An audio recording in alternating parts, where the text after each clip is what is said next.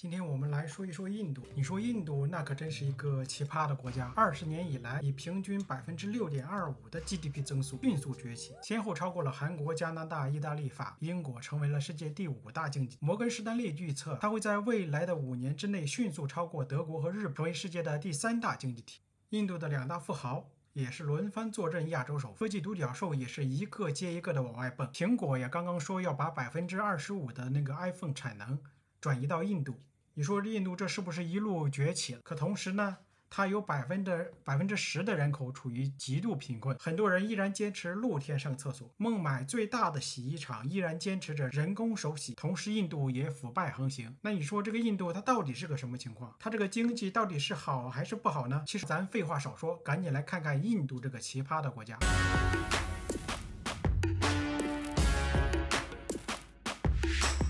其实啊，十八世纪之前，印度的经济还是挺猛的。这个 IMF 对历史上各大经济体占全球经济总量的一个大概估算，当然历史上的数据肯定不是很准确的，咱就看个大概。看美国从二十世纪开始崛起，占世界经济总量的百分之四十。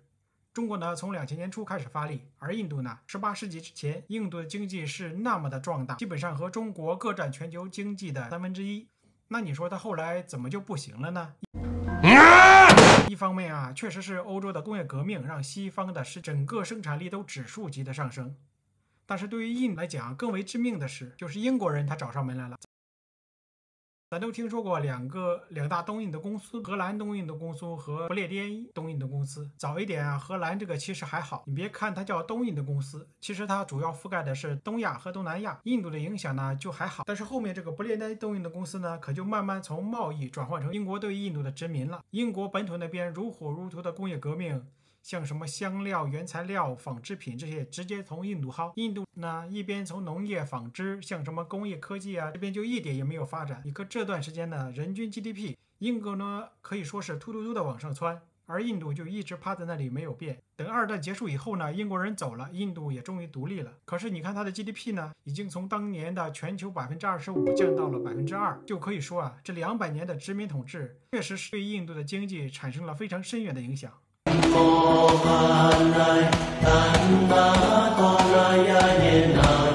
那英国人终于走了之后呢？印度人一看，总算走了。你说我被骑在脖子上压制了两百多年，我可算是领教了什么叫做英国式的自由贸易了。这回我就把自己保护起来，严格控制，像什么工业、银行全部由政府监管。经济上呢，基本上也全面接受了前苏联那种计划经济模式，几乎也不接受任何外部投资。而且哈，他们还衍生出了一个自己的叫许可证制度。注意啊，这个制度很关键。简单来说，就是大部分的企业，你甭管想干点什么，你都得找政府去申请个许可。你要是想做生意，那你首先得找政府七八十个部门，各种备案审批，花大量的精力去打通各种关系，才有可能拿到这个许可证。而一旦你拿到这个许可证，那就相当于进了保险箱了。那你就爽。结果呢，就是印度经济虽然也在发展，但是很慢。到了一九九一年，印度经济一个重大的转折。印度经济本来就在泥泞当中前行，这时候呢，又给他来了当头一棒。他对贸易的最大客户前苏联解体了，同时呢，又爆发了海湾战争，油价也突飞猛涨。你看，一边呢，大客户们东西呢卖不出去，也赚不着钱。另一边呢，能源进口的价格又贵了一大截，这就让印度政府的资金现金流非常的紧张，甚至都面临着国债违约的风险。最后啊，逼得印度政府不得不伸手向世界货币基金组织借了十八亿美元的贷款，才算是度过了这个坎儿。不过哈，IMF 可不是什么随便的人，那可不是随随便便给你贷款的呀。这个贷款是有条件的，钱我借你可以。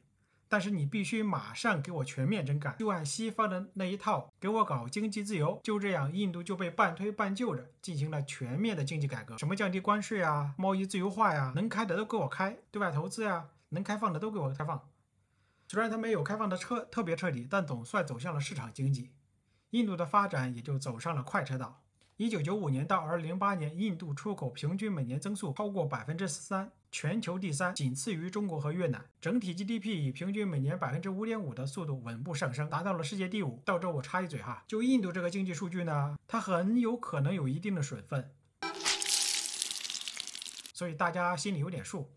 印度的崛起当中啊，有一个印度的产业起到了至关重要的作用，而且它也非常的具有印度特色，那就是外包。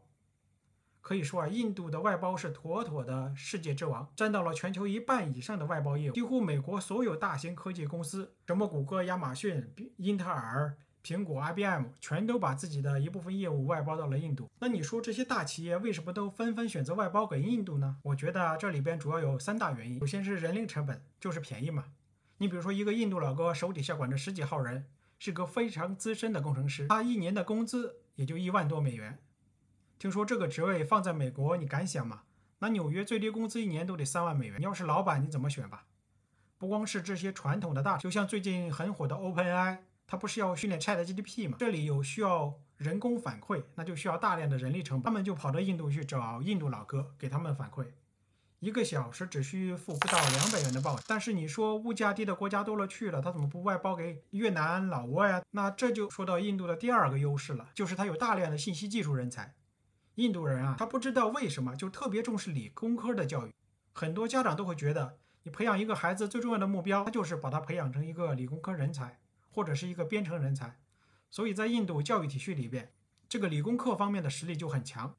别的不说，现在全球多少顶尖的公司 CEO 都变成了印度人，谷歌的 CEO、微软的 CEO，还有刚刚被马斯克干下去的 Twitter 的 CEO 都是印度人。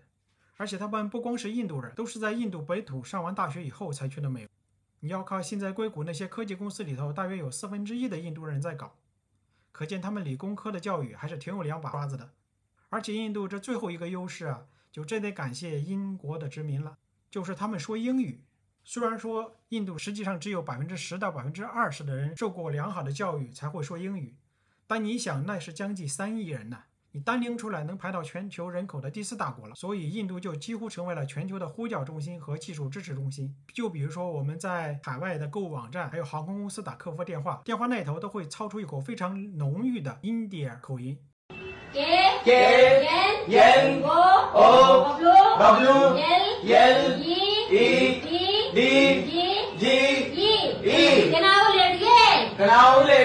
那你这么一看，印度这么多人英语这么好，又有理工科背景，劳动力还便宜，无可厚非的就成为了全球的外包中心。二零一九年外包总收入就达到七百多亿美元，还有个统计说是一千多亿美元，反正大概就是这么个数量，那是相当庞大的。好，刚才一顿猛吹了一趟，印度的经济发展这么的快，这么的猛。那你看这个样，岂不是分分钟之后就要继美国、中国之后成为世界第三股力量了吗？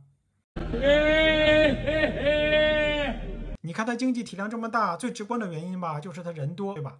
咱刚才不是说了吗？它其实已经是世界第一大人口大国，而且可能持续涨到二十。人多力量大，可是你要换算成人均哈，二零二一年印度人均 GDP 是两千两百五十美金，而美国呢是七万，还不到美国的三十分之一。当然，你要他跟美国比，那可有点欺负他了。咱跟中国比一比，那可能跟中国比也有点欺负他了哈。那咱看越南，你要说跟越南比欺负他了，那咱就跟他旁边的孟加拉比。本来是领先，但是这两年也被超了，还不行，咱就跟边上的缅甸比。但不管怎么说，印度这个人口发动机真的是让大部分国家都非常的羡慕。关键是什么哈？他们的人口不光是多，而且结构还非常的好。就跟咱中国比一比，你就会发现老人非常的少，年轻人跟小孩非常的多。印度的人口中位数是二十七点六岁，也就是说一半以上的人口在二十八岁以下。相比之下，中国和美国中位数大概是三十八岁左右，法国是四十二岁，韩国是四十三岁，日本是四十八点。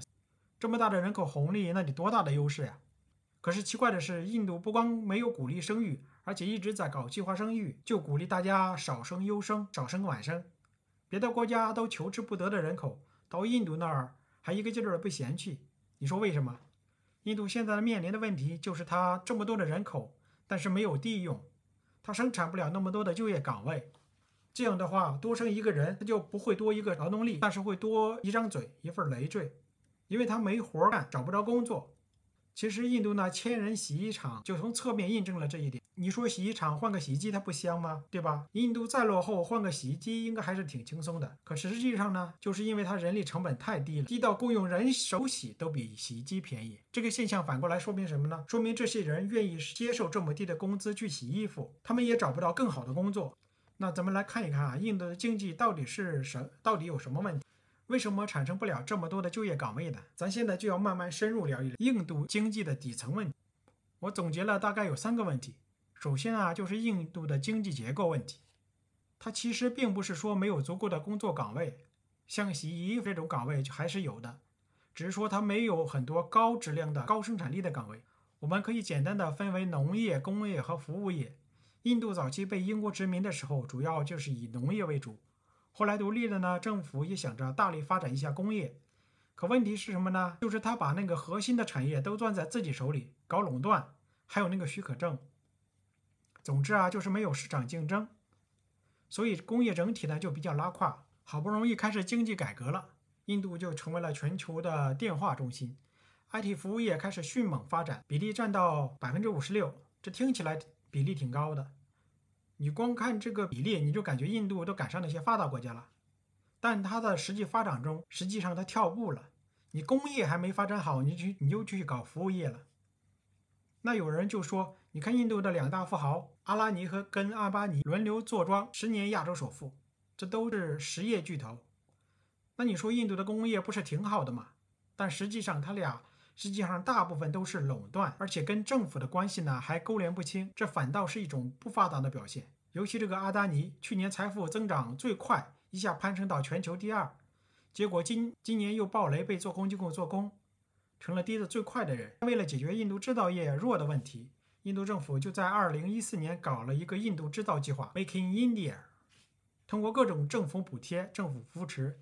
意图把印度打造成世界的新工厂，毕竟印度的人力成本低，就吸引了大量的企业来印度设厂。比如说像汽车行业，通用、起亚都投资超过了十亿美金。你像电子企业就更多了，什么富士康、苹果、和硕、华为、高通、三星、vivo、小米，全在印度建。不过就目前来看，虽然印度政府花了这么大力度，吸引来了这么多的企业建厂，但总体效果平平。你看这个是印度制造业占 GDP 的比重，本来印度政府是想在2025年把这个比例提高到百分之二十，但现在不降反升，从十七还掉到了十四。许可证制度不光是说带来工业薄弱的问题，更主要的深层次的不好解决的是它的官僚主义，就是腐败的问题，这也是印度的第二大问题。还有不光说是政府腐败，而且整个经济体的运行效率也非常的不好。在印度啊，你不管什么小孩儿生病看学，你要做个项目，你就办点事儿，都得上下打点一番才行。你想考个驾照，都得拿钱摆平。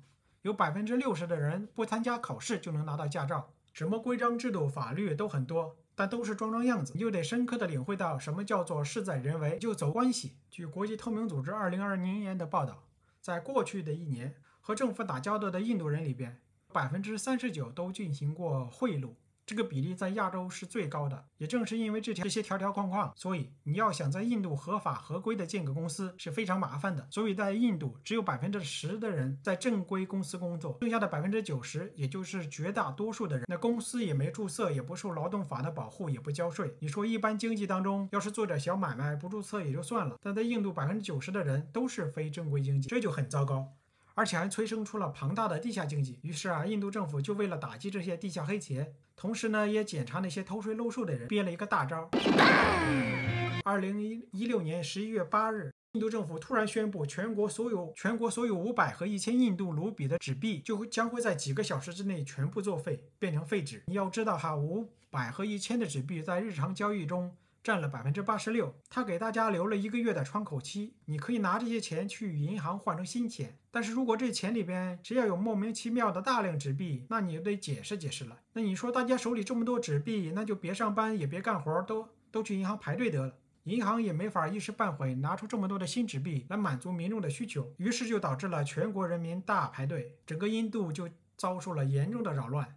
更倒霉的是，这些黑钱也没抓着。印度政府成功的收回了百分之九十九点三的纸币。不过，这种操作倒有个附带的好处，就是它成功推动了印度电子支付的普及。毕竟，很多人害怕印度政府什么时候再搞这么一波，那我还是拿手机扫码。印度发展的第三个问题，其实也比较孤立，属于印度一个社会习俗，那就是它的种姓制度。没错，咱聊印度怎么能不说种姓制度呢？其实简单来说，就是印度那边传统文化里边。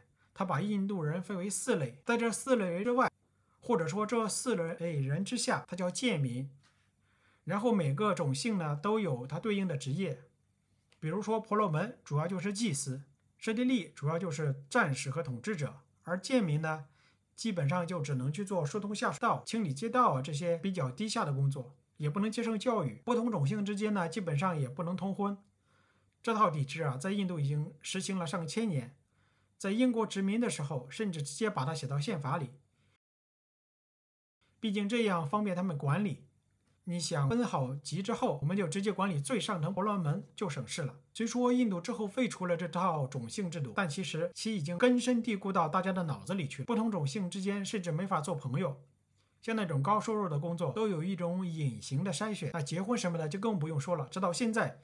印度只有百分之五的跨种姓婚姻，你就可以想象这个制度的影响力有多大。当然，宗教文化咱就不深聊了。但是你从经济学角度来讲，你直接把一堆人呱呱呱切成了四份，然后去管理，这肯定影响效率啊。政府为了消除这种根深蒂固的文化影响，就比如说学校招生、企业雇员的时候就有指标，就是你必须雇佣低种姓的人达到一定的比例。但是现在就不同种姓之间的教育水平。贫富差距还是有非常明显的区别。就咱们提到这三个问题啊，就导致了印度没有办法提供足够多的岗位来供给这些快速增长的人口。这又导致了他经常会提到一个现象，那就是贫富差距。你就只管想啊，他的人均 GDP 都低成这个样子了，但是他一直连续做亚洲首富，甚至一度冲将冲到了全球第二。一个城市里边就一街之隔，另一边最底层的贫民窟，那他贫富差距大到什么程度呢？这估计是全球贫富差距最严重的几个国家之一了。咱还是拿点数据啊。我比较仔细的看了《世界不平等报告》二零二二年版，让我比较惊讶的是，印度虽然贫富差距大，比如说最有钱的百分之十的人拥有了全国百分之六十五的财富，而底层的百分之五十却只有全国财富的百分之五点九，看着挺严重的，是吧？说实话呢，其他国家跟印度比，它也没强到哪里去。你看美国。他百分之十的人拥有百分之七十点七的财富，像什么智利、墨西哥、南非这些都达到了百分之八十。你要说东方某大国，那就